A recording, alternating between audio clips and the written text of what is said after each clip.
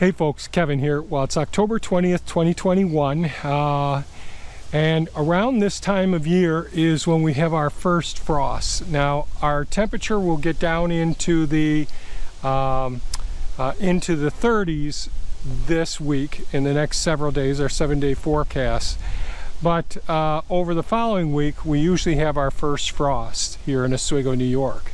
So I thought what I'd do is talk about uh, the fig trees in our nursery uh, at this point. Now, I've made videos in the past about the uh, fig trees and how we care for them, how we prune them, how we, uh, the ones that are in pots, most people that buy these fig trees uh, will buy the trees and bring them inside during the winter months and then bring them out in the uh, summer months and we talked in the in previous videos how uh, how pruning them and based on what your goals are whether you want to have the tree uh, be in a corner or or being like this tree here putting it into a greenhouse setting so we can have the pot down there hold this main limb off to the side and prune off every other one of these and next year each one of these will shoot up pretty tall and produce figs as well so uh, I'm not going to go over too much more of this, but I thought I'd, sh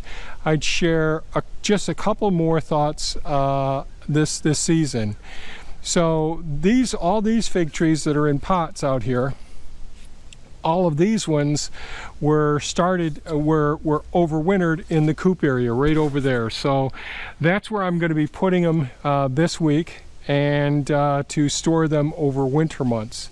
I'll do some pruning on them to make it easier to get them secured inside of the building. And next year they'll come up.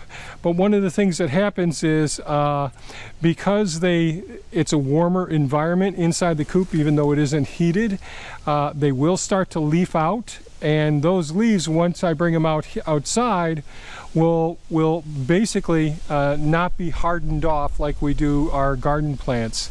So if you're a homeowner and you have the single pot and you want to keep it inside in your garage or in your house over the winter months then what you want to do is gradually introduce it to uh, to the full powers of the sun by gradually hardening it off, bringing it out maybe for an hour uh, at one time on a full sun day, then bringing it back in, and the next day maybe, maybe bringing it out for two hours, and then going back inside again. And then you gradually get it to the point where it can take eight hours. So it may take one to two weeks.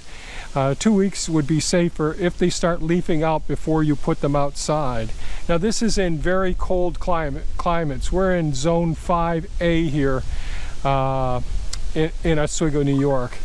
And some of these trees are, have been pruned for different functions like this one. Uh, this was, was pruned to be uh, basically an indoor sort of a showpiece and produce figs as well. Another thing that I've talked about in the past is if you're going to produce fruit, if your goal is to produce a lot of fruit, you need to pinch the apical bud, uh, this bud right here in about June. Uh, in this climate here. So if you're south of Syracuse, New York, you can probably do it at the end of June. Here in Oswego, New York, or, or in climates like ours here, we'd want to do that uh, probably uh, at the end of June. Uh, I won't talk too much more about it, but I'll show you a couple of other last fall I I transplanted these trees the oaks the maples the uh, uh, honey locust uh, the black locust over there as well. And I also took a couple of these pots right this size here and transplanted those into a couple of different locations over here. So this is one of the fig trees that I transplanted over here. And so what you see above the ground here, all, everything above the soil level is all new fig trees. Now I'm 6'2", and so these are all about 6'6", these are, and these fruit will not get to be full ripe, ripeness, uh, because these are outdoors. So there's plenty of figs on, on these trees, but what I should have done if I wanted these to get to ripen is at the end of June when the plant was about this tall, come out and pinch this apical bud right here. So what I should have done was pinch them off here when these plants were about this height right here, three and a half to four feet. Pinch them off there and that would force the plant to send out the fruit and they need a full 90 days to mature. So what I'm what we need to do is if we want these these fig trees to grow them outside in a very cold temperate climate like this, sorry about the wind here, uh, we need to do the things of we could just prune them all off at let's say three feet buy some uh, chicken fencing or some uh, wire fencing put it around the outside of it and put some insulation. It could be uh, leaves from the fall. This is the time of year that the leaves start to come off of the uh, trees so the leaves could act as a form of insulation. Another thing that can be done is to take these limbs and gently bend them down, lay them down and put insulation on them.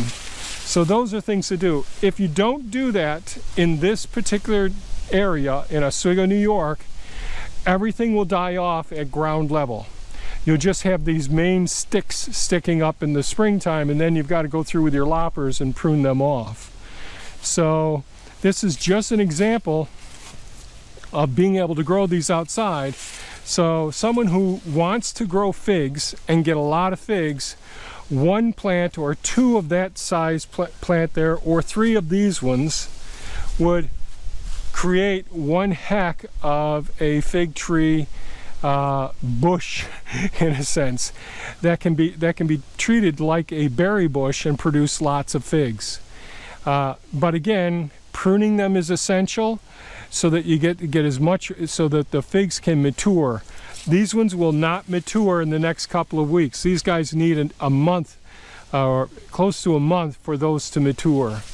So if you're south of where we are in a warmer climate, certainly this is very doable. The two varieties that we have that I can't tell the difference between unless I've got a couple of figs over here I can tell. I've got some brown turkey figs, but we have Chicago Hardy and brown turkey fig trees. I can't tell them apart because our labels all got destroyed and I've just, both of them are very similar to me and they grow like beautifully. So just wanted to show you how much they can grow you know each season. Here's another one over here. This was a smaller root mass, this, this fig tree that I planted in here. And some of these are only maybe four foot tall. And this one, unfortunately, I had weed whacked. I didn't realize it when it first, first started coming up. But all these are fruiting uh, buds here. So that, that can produce uh, many figs. Uh, but again, you've got to insulate them well or prune them appropriately, then, then pinch the apical bud so that all of these figs will end up like there's a good example of the apical bud. You just go ahead and pinch that right off. I'll do that on this one. That's all I do is just take that apical bud off. And that tells the plant to start sending out the lateral shoots and it also tells the plant let's mature the fruit, fruit so that we can ha uh, have seeds to uh, reproduce. So that's it. That's all I wanted to do. Sorry about it being windy here, trying to hide behind this fig tree. But this gives you an idea just how how big and beautiful these fig trees can get and uh, and you can get a lot of fruit from one or two uh, fig trees even in a cold temperate climate so if you have any comments or questions, please leave them in the, in the description, in the comment section below. If you found this video valuable, please give us a thumbs up. And by all means, folks, stay safe and take good care of yourself. I've got to get to work now. Bye-bye.